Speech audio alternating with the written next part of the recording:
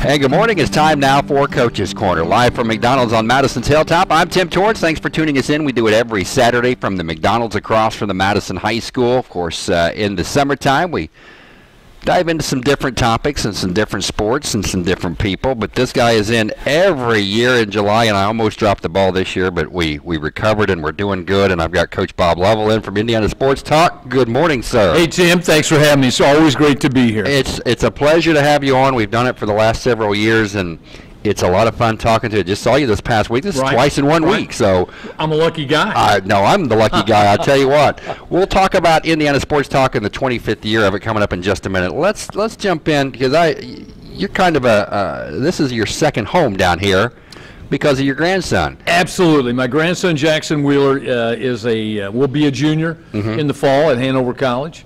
Uh, member of the uh, lacrosse team. They had a record-setting year this year. Yes, they did. uh, broke a record for wins. Uh, lost in the championship game in the conference championship to uh, Transylvania. Mm-hmm. Uh, he, he is um, he's playing well. Started every game for them this year as a sophomore. Uh, they have a really good, solid core of uh, kids who are coming back uh, as juniors and seniors, so they have uh, high expectations. He loves it down here. Yeah. As I've told you before, uh, he's going to be a communications major.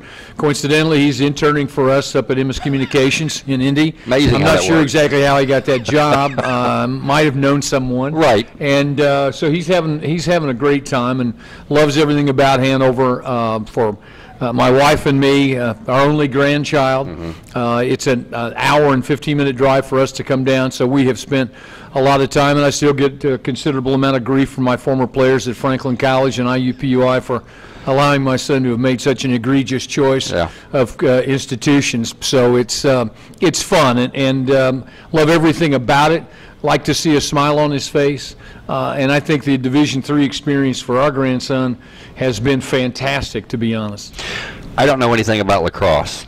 neither do I. So- So, and, uh, you're asking the wrong guy. So, but but my my point to the question is going to be: you don't know anything about lacrosse, and and being a former coach, is it nice to come down as a as a as a grandparent and just Oh, absolutely. You know, the, the, the coolest thing about it is that uh, Jack's father played for me at, at IUPUI. Mm-hmm. And so as a kid growing up, you know, he was he played uh, you know football and basketball and baseball and he's left-handed and, and I had these dreams as a grandfather of a left-handed pitcher and you know that and and and in the sixth grade he was trying to juggle uh, all these kinds of things. He went to a lacrosse camp in the summer. A buddy of his uh, said, "Hey, I'm going to this lacrosse camp," and so he went and then came back, and, and that was it. He Yeah. was he was he was in love with.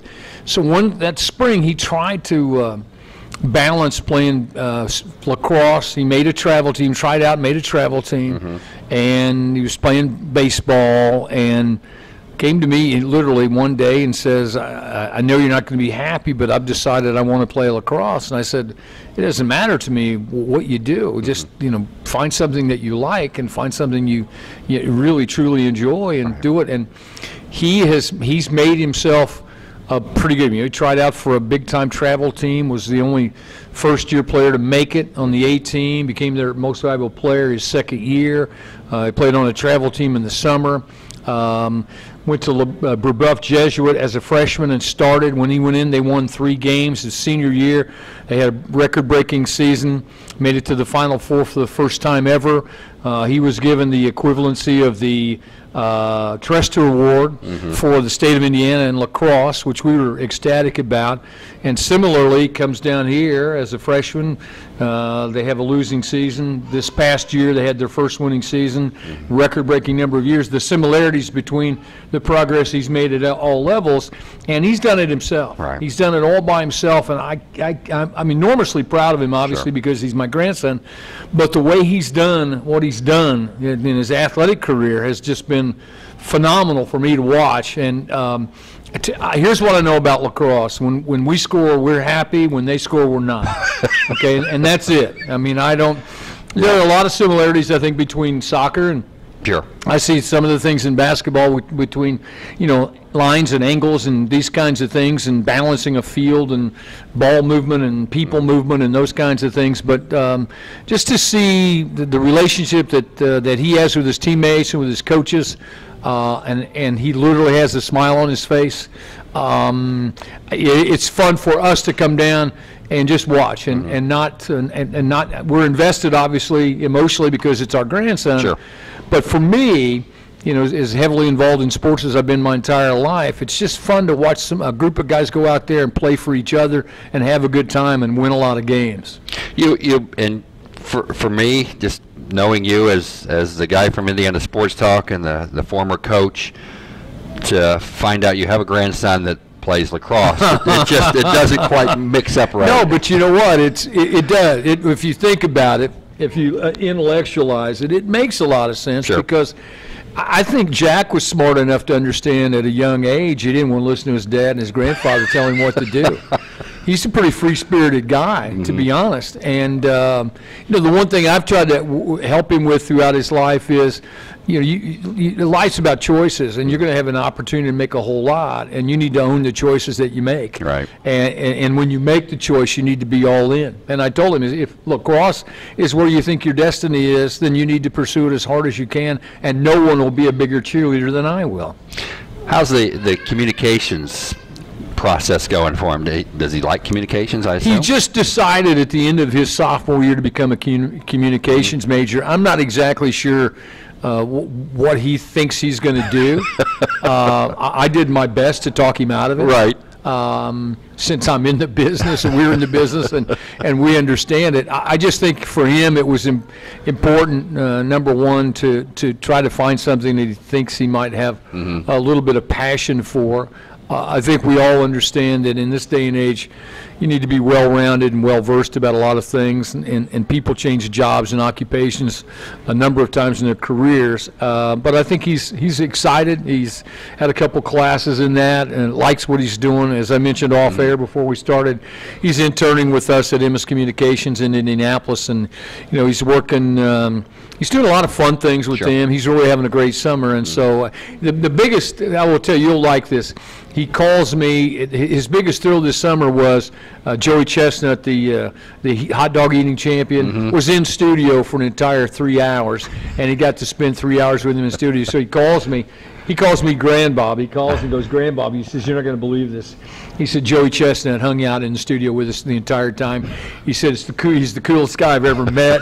Uh, and I, I thought, yeah, well, this is a great way for you to spend your summer. I'm happy for you. With the hot dog eating But, you know, he's, no, he's Right. I, I'm not exactly sure what, what his intentions are. Mm-hmm. I think he's talking now about uh, going into video production and Sure. being one of those kinds of guys.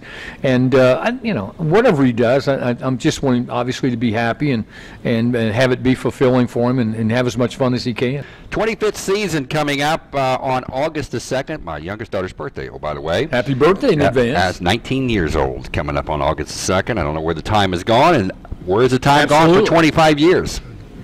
I don't know. I really don't. We started this in August of uh, 1994, and um, with an idea.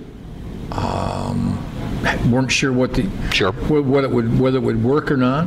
Scott Eaker, who was the uh, uh, news and sports director at Network Indiana at the time, had an idea for a radio show. Um, and, and used WORX as an example on, on Friday. You know, you're a music station and a very important member of the of the community in Madison and surrounding areas. And, and the mission at WORX and a lot of other stations have is to be be the information hub for people in their community. Good information, necessary information, bad information, Sure. uh, and so.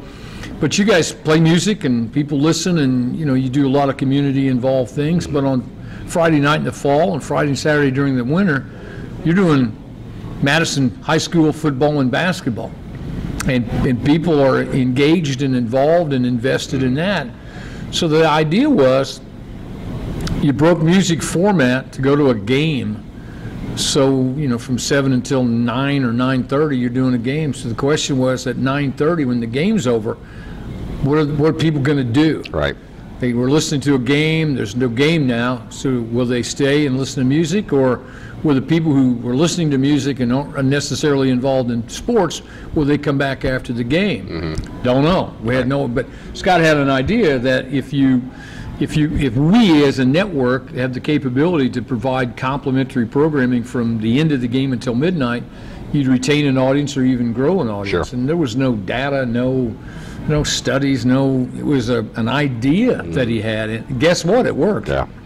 25 years later. Yeah, I think, it- I think it, it did, and I had worked with him. He was my play-by-play guy at IUPUI in my last two years there, and he'll tell you that he saw something in me, and I, I don't know what he saw to be honest, because what he saw was a guy yelling and screaming and yelling at officials and yelling at his players and throwing things and all kinds of stuff, and I'm not sure that's those are necessary skills to be on the radio, but um, we we had a talk and obviously I didn't have a job at the time because I just stopped coaching, and so um, I, the word I come up with is serendipity. It's Yeah. it's a serendipitous that we are together at the time. He has an idea, and all these factors come together to, to make it work. Now, that first night was dreadful. Right. I mean, it was beyond. I've told you this before. It's Sure. horrible, but we got a little bit better and a little bit better, and people started to listen.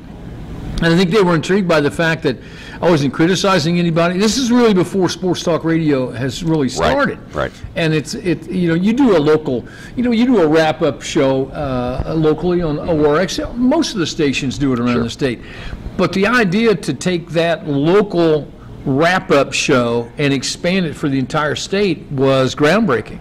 And um, I was just lucky to be in the right place at the right time. You know, and, and with technology, and we talk about this every year you're on, Coach, with technology evolving, uh, technology is, is increasing and, and Technology's killing me. and it's and, and it's and it's good when it's working right. Right, right. Uh, but you have to learn and understand how to use it and all that. And you know, I'm, I'm a Twitter Twitter follower because that's You have what to be. you have to be. Have to be.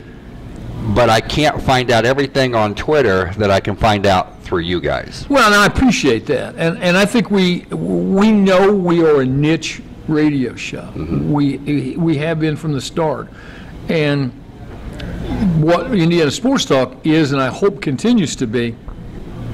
When you were at a game, and, and this is, it took a while for people to understand this in, the, in the company I work for, and salespeople and others. Hey, look, everybody goes to high school sports in our state. We- We're a lucky state because mm-hmm. there's such a great interest. Sure.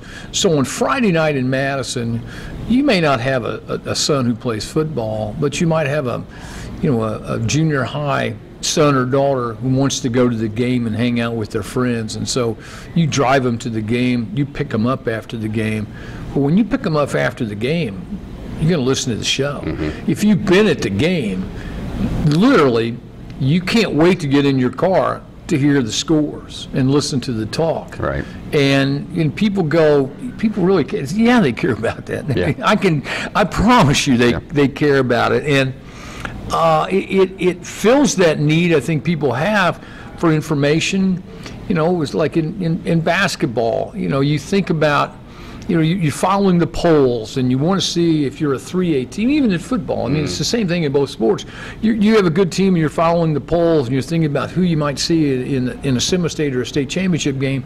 I think the other part of it is is that you just want to be a part, it's a connection that you have with other people. Mm-hmm. Because high school sports, well, there's a reason they made a movie called Friday Night Lights. There's Yeah. a reason they wrote the book. There's a reason they had the television show. Uh, and in our state, obviously, with basketball in the winter, people care. I mean, really, really, really care about high school sports in our state. And our show, I think, unifies everyone, galvanizes everyone in terms of what that experience is like on a Friday and Saturday night.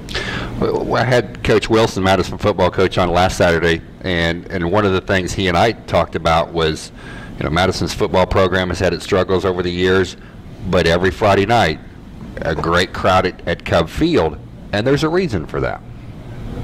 Yeah, there is. I mean, those are our guys. Yeah, that- those are our kids. That's exactly right. Uh, it, it's it, it's um, you know fathers who played and want their sons and daughters to be involved in those activities. It's grandparents such as myself who want to go out there and watch. It's also people who are involved in the community because you know, what happens uh, in a high school uh, is important to that community for a, a great number of reasons, not the least of which is those are your kids. And that- it's the fabric of what the community is about. And so we're just thankful to be a part of it. Uh, and and I've, I'm mindful, Tim, after all these years, I'm, I'm very mindful of the responsibility that I think our show has. And I certainly think the responsibility I have uh, is to uh, maintain the standards that we have.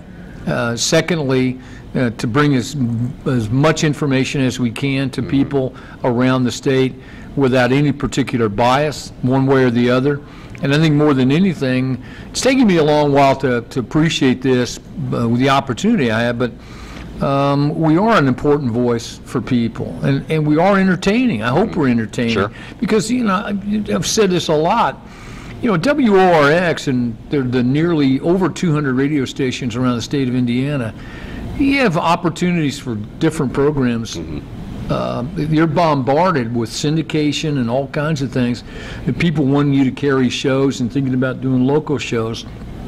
For WORX and 45 other radio stations to choose us, to, to put on their airwaves, to be with their listeners, is an enormous responsibility for us and one that we shouldn't take lightly and one that we need to understand that, that you think people aren't listening, they are. And, and you have a responsibility to them to be as professional as you can, to be as prepared as you can, and to do the absolute best job you can. The entire, every minute you're on the air, you have to do the best you can. And I think we've been able to maintain that standard for all these years.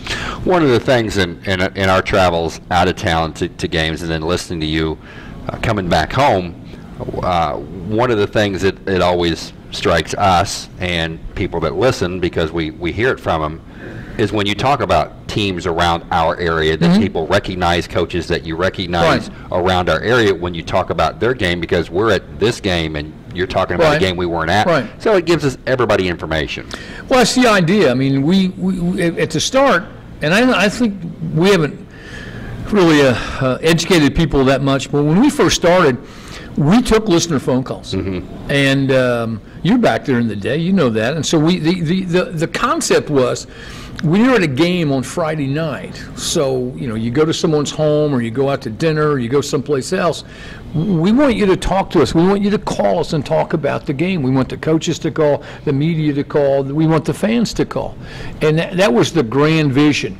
Um, didn't work out like we wanted. Right. You know, um, managing those kinds of calls, you know, people got a little exuberant, so to speak. Right. Uh, they may have been uh, slightly lubricated uh, in, in terms of post-game libations, Sure. and so we decided the best way to handle the block of time, because we were on for three hours at the time, Mm-hmm. was to eliminate the the fan part of it and just go strictly information. Mm-hmm. So for uh, the 25 years we've been on the air, about 24 and a half of them have been strictly information. Right. And the onus is on me now to, to, to, to fill that time. And, and people don't understand, I roll into the studio at about 8:30. I'm going to talk about 20 to 25 games I haven't seen.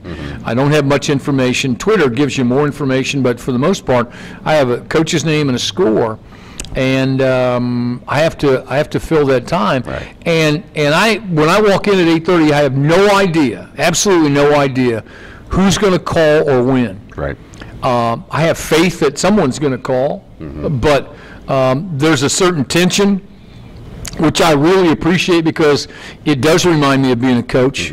Because you'd come into that game and you thought you knew what your team was going to do, and you thought you knew what that other team was going to do. You you had an idea of what you felt like was going to happen, but you never really knew, and so you had to be able to handle things on the fly. I can handle things on the fly, trust me. And so, you know, we email all the coaches around the state uh, every Thursday, and um, it, it's a crapshoot whether or not they're going to call. Right. At what time? I, I literally I have no idea when any who's going to call or at what time, and it's kind of fun not knowing that. It's it, and it's interesting because there's coaches that are regular coaches. Absolutely. That will faithfully call Right. every week, irregardless of their results. Right. And, and I think that's impressive. I do too, and I think uh, I think the other part of it too. i i think about this: the cool thing is when after big games, uh, milestone games uh, type of things. For example, coach uh, first year coach wins his first game. Right. Uh, coach wins the conference championship for the first time. Uh, breaks the school record for wins. Uh, those kinds of things. Uh, if- from where I sit, and it took me a while to, to be smart enough to figure this out, but they have chosen to spend time with our show talking about a milestone in their life. Or a, a young man who broke a record or a young woman who broke a record or whatever they, they they took the time to call us beyond, as you know be on hold for a while because Right. you're going to be on the hold Sure. and, and and share that information share that story with the entire state. They had to, they chose to do that. They mm. chose to share that time with me and with our audience. And if you don't think that's important you're crazy. Right. Okay, I mean, I talk about this a lot. This, uh, the, the football coach in the northern part of the state who called and, and, um, it was in the, during the sectional, and I, and I, he's talking, and, and I think he's outside. And I ask him, he talks about the game, I say, let me ask you a question. I said, where are you? And he goes, I'm walking back, I'm on highway such and such, I'm walking back to our school from the game. I said, why, why are you doing that? He said, I, we had never beaten this team. And I told our kids if we won, I'd walk back to school. I said, well, what's the temperature? And he goes, it's like 30 degrees and it's snowing. You know, it's Right. ugly. And I said, uh, are people following? He goes, Bob, the, the caravan behind me is as far as you can see. Okay, so here's the biggest win of this guy's life. Right. He's going to share that time with me. Yeah. Now, if you can't get excited about that, you probably need to check your heart and check Yeah. your pulse because I'm not sure you you got a lot going on right now. And that's what makes this thing unique uh, is the fact that people take time, they care enough about uh, our show, I think, and they care, and they're nice to, to me. Uh, but they care enough about what we're doing and how we represent them, and they feel comfortable uh, that we're going to to give them the opportunity to talk about something that's very important to them. And, and that, you understand, you're in this business, you understand how important that really is. 25th year coming up on August the 2nd for Indiana Are you coming up for the celebration? I would I would like to, however. You have to work. Well, it's it's a pretty important birthday that day. Oh, it's your daughter's birthday. That's right. Never so mind. I, I would I would love to though. I, here's what we're doing. Uh-huh. All right, and I and I fought this. I don't. I didn't want to do it. You know me. I don't Right. listen. All right. I don't, Oh, I don't yeah. wanna- I don't want to. Uh, it's literally uh, Greg is going to co-host with me that night. Uh, we're going to have taped interviews from a lot of the guys who were part of the show Sure. way back when and throughout. And it's literally like Bob Lovell, "This is your life." And I said, you know what? Don't, don't do this." Right. I just I'd rather go on and talk like we normally do. Right. But, uh, I mean, the network folks are really pretty adamant about this, so we're excited. and We're inviting people uh, from the, the affiliated Mm-hmm. stations to come in and hang out with us. We're gonna have a little dinner before and have some fun, but still hard to believe. Man, oh man, I still had uh, some dark hair, but back in the day when we started the show. 25 years and, and going back to year number one and uh, we've talked about this before but you know now with all the technology Oh. it's, information is just this this Yeah. this 25 years ago we didn't have all this technology. How'd you make it work? Um, I had a, uh, my studio producer was a gentleman named Russ Maloney. Uh, and Russ Maloney is one of the most talented, um, personable, intelligent guys I've ever met, ever worked with in my life. He's in LA now. He's trying to break into uh, into the comedy business, and it gives you an idea of, of his personality. And so, the, literally, the first night we go on the air, we're on the air at nine o'clock, and at eight fifty-seven, he comes into the studio and he looks he looks horrible. He looks like a mess. Yeah. And I I said, what what's going on? What are you doing? And he goes, um, I was in an accident. I got sideswiped on the way down, and then going. You know, are you okay? He goes, yeah. I said, why didn't you call us? He goes, no, you know, it's first night. I got to be on. Right. So back then, Russ Maloney, this shows you how dedicated he is. Russ Maloney, our studio engineer, when you would call, we had a whiteboard. So I, I'm sitting at a, uh, this is really goes back, a, a round wooden table. In a, in a literally in an, in a, a small office, and he, Russ is three four feet away behind a plexiglass divided. Um, what would you call it? Like a desk or something. Sure. And behind him is a whiteboard. Now this round table, little known story. This round table is from the Pence family. Mike Pence mm-hmm. started his radio show on Network Indiana in April of '94, and we started Indiana Sports Talk in August. Mm-hmm. They drill a hole in the middle, put a three mic stand there, and mm-hmm. that table, that's Mike's table, is Yeah. sitting there, and Russ has the whiteboard, and it that has five different lines, and he literally is on the phone writing numbers up, writing names and scores on the whiteboard, as you well understand, Mm-hmm. pushing buttons, hitting commercials on the right time, and doing all Right. that. And he looked like the literal. The, the, the description is a one-arm paper hanger, right? Right, right. Because he is the busiest guy you've ever seen Sure. in your life, and and for me. Um, newspaper, you- we, there, yeah, the Mm-hmm. Yeah. new, we use newspaper, but in terms of uh, information while you're doing the show, it was all on the whiteboard. That's all we had, and and it's you know, and now uh, we've progressed. Obviously, you know, call screener, you know, you have a computer, it tells you. But but when you call to talk about uh, Madison football or basketball, Tim Torrance, WORX, Madison beats Scottsburg. That's Right. it. That's all the information. Now, nowadays you follow Twitter Sure. and and you follow those kinds of things, and and and you you were able to get more information. Right. Back when we started, Sure.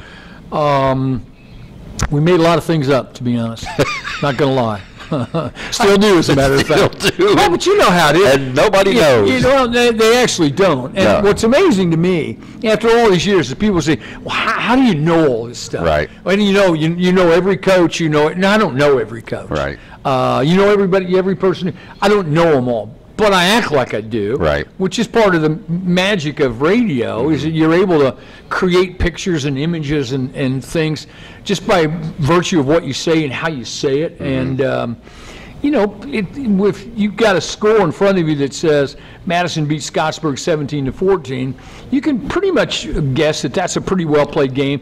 And in some cases, uh, maybe it was a late field goal to win the game. And so, you know, you're only going to ask the coach three or four different questions with the amount of time you have. Right. And so, you know, you, you try to guess. Sometimes you guess right, sometimes you guess wrong. More often than not, you're right. And people go, "How did you know that?" Mm-hmm. Right. Well, you know, it took a wild guess. Right. And- And and and you, I, I listened to you long enough to know you you you feed off what the coach tells you to to be Mm-hmm. to go beyond the, the what the last question. Well, do something that's hard for me, and that's listen. Listen, Now, yeah. I'm not good at it.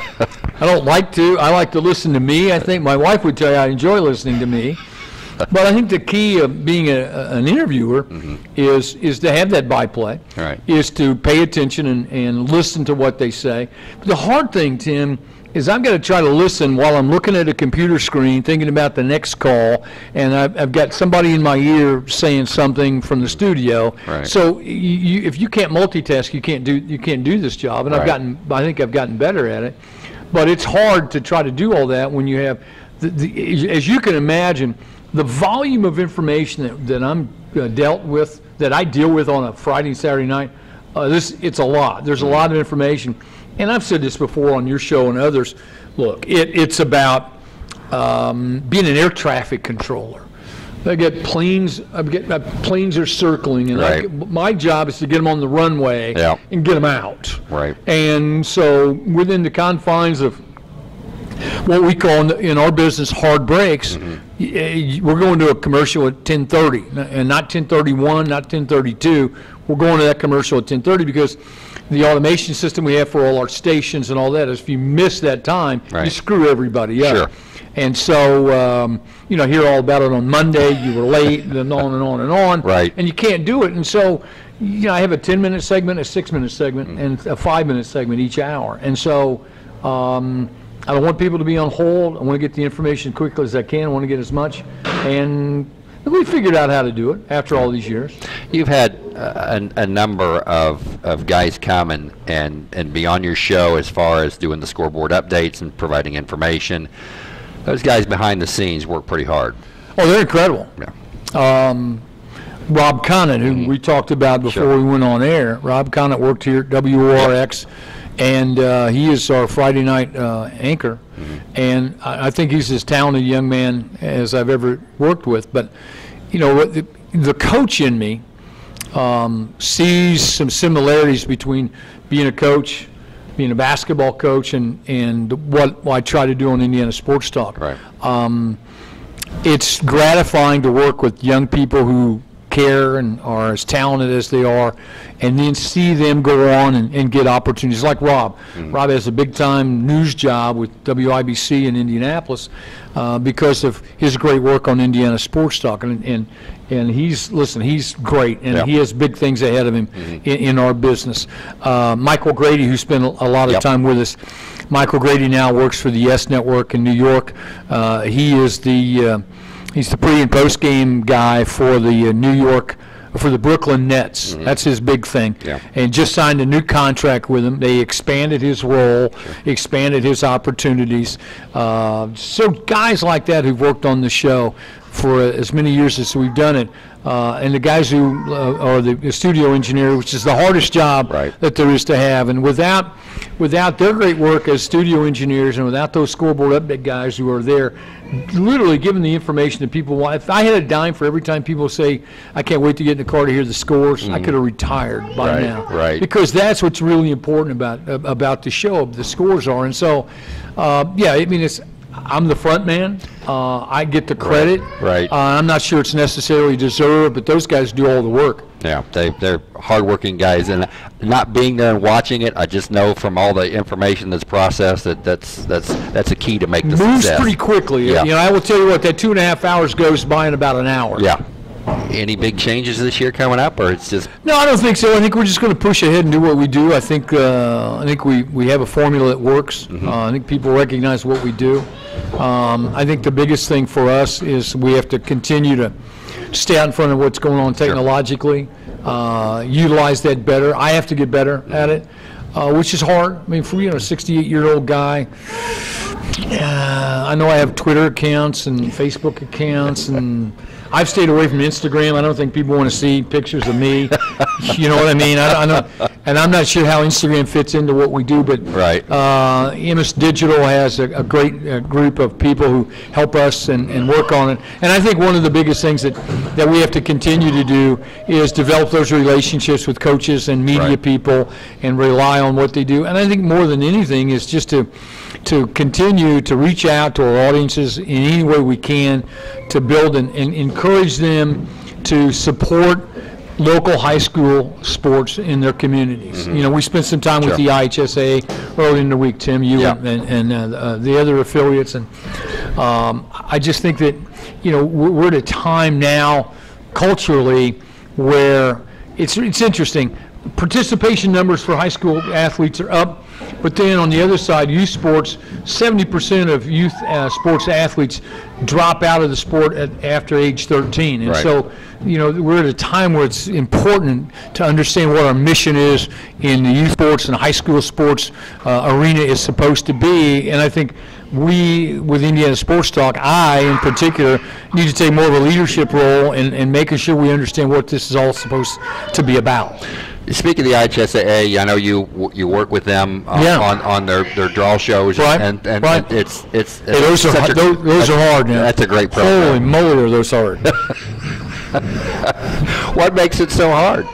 well, you know what? Number one is. I mean, you're on TV. Well, yeah, well, yeah, I guess. uh, you know, and that's that's when people recognize I do in fact have a, a face for Face for radio. radio. But, but here's here's here are the things. One is it's a live show. When I'm used to doing live radio. Sure. and, and so I think I can understand it. But I, I think when you, and maybe I overanalyze it too much, but this is one of the most important nights or days of the entire year Sure.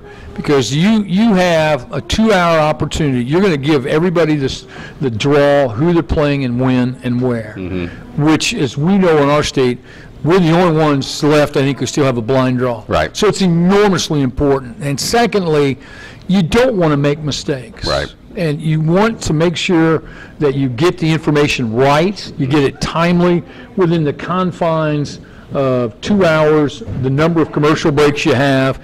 And, and the other thing is, and we made this decision a few years ago. We're going to mention every sectional. Sure. We're not going to say that one sectional is more important than another. Now, we all understand that there are certain sectionals that are really, really good. Sure. And some sectionals teams don't. None of them have winning records. Right. But we're all going to, you know, you're, we're going to get mentioned. Right. And to be able to pull that off within the confines of two hours and do it and do it well and, and do it to where you, you think you've been able to you know, satisfy the things you need to do is not an easy thing to do. The cool thing about it has been the insertion of social media. Right. We're looking at these viewing parties, and it's taken on more of a, a feel of an NCAA selection Sunday Sure. type of show. And I think everybody's engaged and involved. And, and there are some who've complained, how come you're not on television? And it's basically now primarily uh, on the internet. Right. And, and, and I think one of the things that I said to the IHSAA was, hey, look, your audience should be your kids. You're in business for these kids. Mm-hmm. Right. And your kids get their information off their phones and off their computers. Right. Mm-hmm. And so they don't watch TV unless they watch it off their computer. And what you ought to do, uh, and Heath Shanahan, who's their director of um, uh, media, if you will, worked with us at, at Emmis, worked with me on my show. Mm-hmm. Sure. And uh, we did some things with Emmis uh, uh, Digital on some high school games of the week. He understands it. Bobby Cox recognizes it. And it's been, for us, it's been one of the coolest things I do, quite frankly. But it's the hardest thing I do in the Right. entire year, without question. That's I, I didn't know that. Oh my! I mean, I my wife will tell you I'm never nervous. I'm slightly slightly nervous. I'm apprehensive about pairing shows because it's such a big deal, and you want to do it and want to do it right. 25 years you've done this. How many more years will you do this? It's a great question. Um, I'm 68. Okay. Um, I obviously have heart issues. Uh, three years ago, I had open heart surgery. I uh, felt great since then. Still Good. feel great. Great. Uh, I try not to look at it. You know, I'm not a milestone guy. Right. Um, okay, so 25th season. What's the difference between that and 24th and 26th? Right. I mean, Yep. you know, so I don't, when I was coaching, did I look at, you know, wanting to get to a certain number of wins, a certain number? No. Uh, that- That, doesn't mean anything to me. Mm-hmm. Um, I think the biggest thing, and I've said this before, I think there are two, fa- three factors. One, uh, I work at the pleasure of Emmis Communications. All right. You- So you know how that is. Yep. Uh, As long as they will have me Right. um, um, I'll, I'll continue to do the show. Secondly, um, I've been married 50 years. Uh, 50 years, my wife has not had weekends. Right. You understand Yes. that. You're in the business, you Yep, understand it. People who aren't in the business don't understand it, but, you know, on a, on a Friday night, um, I leave Franklin at 8 o'clock. Yeah. On a Saturday night, I leave Franklin at 8 o'clock. Yeah. Um, And in- if there's a wedding, uh, a a- party, uh, whatever it is, uh, for us, we're out of there at 8 o'clock. Right. Okay? Yep. And so um, I- that that wears on you. I I think the other thing, uh, the other thing, I think I'll do it as long as my wife uh, is still on board with me, not being at home when I am, and she is. And in all the years I coached and all the years I've done this, I've I've never been home on the weekends. I think the third thing is um, my health, but I- I'm fine. I think I I expanded to a fourth thing. I don't have hobbies. Right. Uh, I don't play golf. I used to. I don't play golf.